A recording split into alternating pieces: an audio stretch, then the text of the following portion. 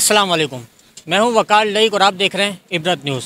नादिन हाजिर हूँ आज एक ऐसी स्टोरी के साथ जो हकीकत में मबनी है। आज हम बात करेंगे ऐसी शख्सियत के बारे में जो आपकी तरह और मेरी तरह अपने पाँव पर चल तो नहीं सकता, माजूर है, पर किसी का मोहताज नहीं है। जी हाँ मैं बात कर रहा हूँ ऐसे इंसान की जिसने अपनी माजूरी को माजूरी नहीं समझा, लोगों के आगे हाथ फैलाने से बेहतर अपनी हिम्मत और अपने हौसले को बुलंद रखा। आइए हम इस शख्स से जानते हैं ये इस महँगाई के दौर में और इन मुश्किल हालात में अपनी ज़िंदगी का गुजर बसर कैसे कर रहा है? अस्सलाम वालेकुम वालेकुम सलाम। आपका नाम क्या है? ज़ियाउद्दीन। याउद्दीन भाई ये बताएँ कि आप सबसे पहले हमारे नाजरन को कि आपकी जो ये माजूरी है ये पैदाइशी तौर पर या किसी हादसे में या आप इसका शिकार हुए हैं? ये पैदाइशी भी है और क्या ना बाद में एक्सीडेंट हो गया था ऊँट गाड़ी चढ़ गई थी मेरे ऊपर ईंटों की भरी हुई। तो आपकी ज़िंदगी का गुजर बसर कैसे है कहाँ रहते हैं कि और किस तरह से अपने अखराज पूरे करते हैं और ये रक्षा आपको किसी ने दिया है? भाड़े पे चलाते हैं या आपका अपना ख़रीदा हुआ है? ये मैं भाड़े पे चलाता हूँ और रक्षे में सोता हूँ रक्षे में सारे काम करता हूँ। खुद ही सही करता हूँ खुद ही इसको चलाता हूँ कोई मदद को नहीं है मेरी। ना आगे ना गवर्नमेंट का कोई मदद हो सकी ना आवाम की मदद हो सकी। ना मैं किसी से सवाल करता हूँ। तो आपके कोई अज़ीज़ रिश्तेदार और दूसरे भाई वगैरह हैं जो आपकी मदद कर सकते हैं? भाई वगैरह हैं लेकिन वो अपने अपने घरों के हैं वो क्या मेरी मदद करेंगे? वो अपने ही पूरा कर लें तो बहुत है। आप हमें बताएँ कि, कि किस तरीके से आपके साथ ये सारी चीज़ें मामला पेश आए किस तरीके से आप रक्षे में रातों को गुजारते हैं किस तरह से आपका खाना पीना होता है कौन ला कर देता है ये सारी चीज़ आप किस तरह मैनेज करते हैं? ये बार रक्षे भी करता हूँ मैं। रक्षे पे जाता हूँ कहीं होटल पे कहीं ठेले पे लगा खा लेता हूँ कहीं कुछ कर लेता हूँ। इसी में रक्षे में सो जाता हूँ रात को फिर सुबह उठ जाता हूँ। लेटरिन बाथरूम भी इस पर जाके करता हूँ।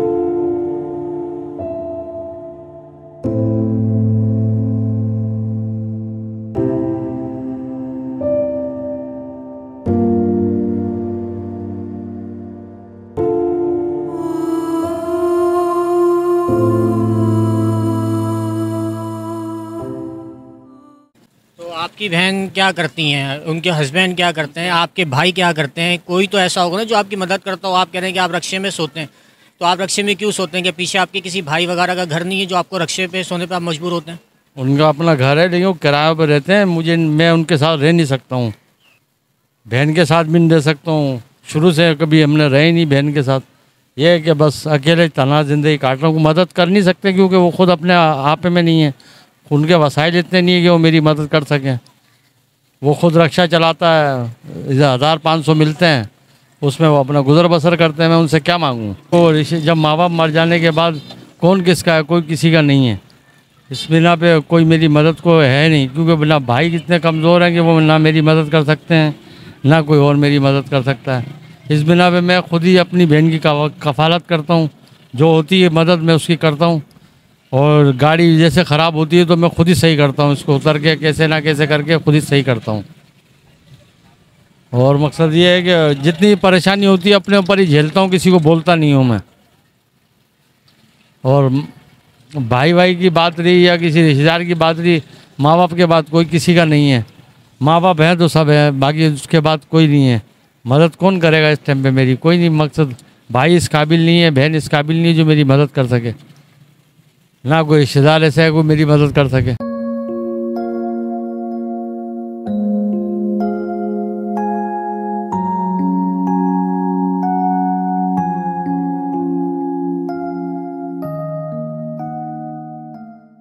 अच्छा हमने आपके इलाके मकीनों से ये भी सुना है कि आपकी कोई ज़मीन थी, उसको बेचकर आपने अपनी बहन की शादी के अखराज उठाए।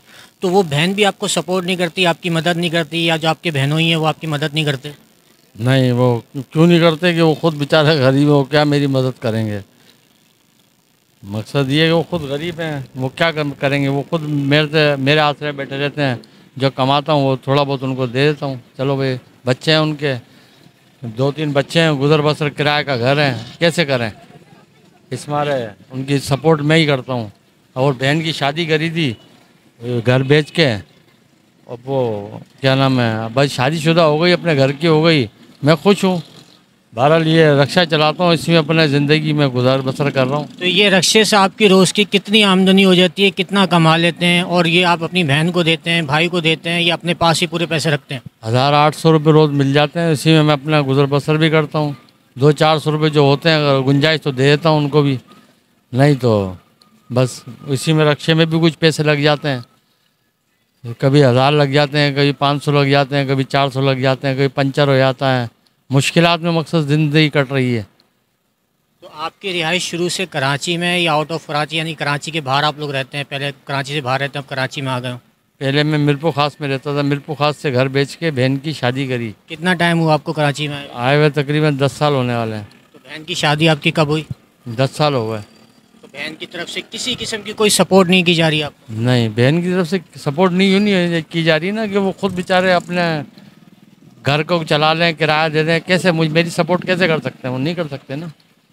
तो आप माजूरी की हालत में किस तरह ज़ाहिर सी बात है, अगर रास्ते में किसी सवारी को आप लेकर जा रहे हैं रास्ते में अगर रक्षा खराब हो जाए तो अभी किस तरह जो है ना अपना रक्षा ठीक करते हैं किस तरह मैकेनिक के पास लेके जाते हैं ये सारी चीज़ें किस तरह मैनेज करते हैं माजूरी की हालत में? ये बस किसी धक्का लगवाता हूँ ऐसे कभी कभी ऐसा होता है कि मैं खुद खोल के सही कर लेता हूँ अगर होने जैसा होता है तो। नहीं तो बैठ जाता हूँ दो चार घंटे तो फिर ज़ाया होते हैं मेरे। कोई ना कोई अल्लाह का बंदा आता है तो मेरी मदद करता है तो कोई धक्का लगा के ले आता है।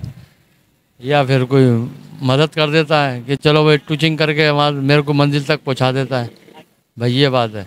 आपका यानी कि कराची में कोई ऐसा रिश्तेदार नहीं जो आपकी मदद कर सके और आपकी रिहाइश आपका सोना आपका खाना सब कुछ आपका रक्षे में ही होता है यही आपका घर है? जी जी यही मेरा घर है और कोई ऐसा नहीं है कि जो मेरी मदद कर सके।